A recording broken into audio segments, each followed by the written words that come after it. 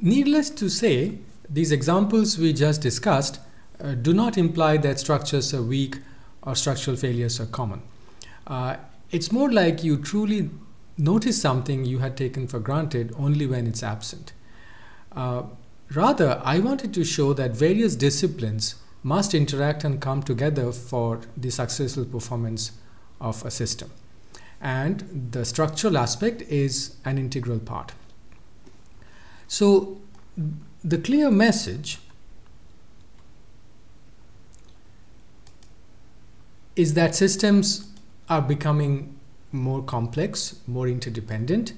Uh, it is not possible to have perfect knowledge about the system now or into the future.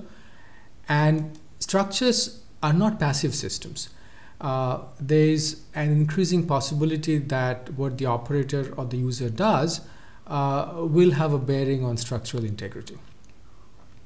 Uh, also, the, the pace of innovation has quickened that sometimes there is not enough time to learn from failures. And this last point uh, on the distribution of responsibility, uh, it becomes clear when we compare with simpler times. Uh, we can only presume that these six clauses worked for the most part four millennia ago. Uh, but not only has human civilization become less violent, our laws and social structure implicitly acknowledge the complexities, uh, including those involving engineering infrastructure systems that have a bearing on the health and happiness of a large number of people.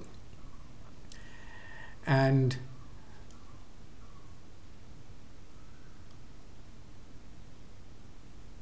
the comparison becomes clear uh, when you put these two sets of national laws uh, side by side, separated by a span of 4,000 years.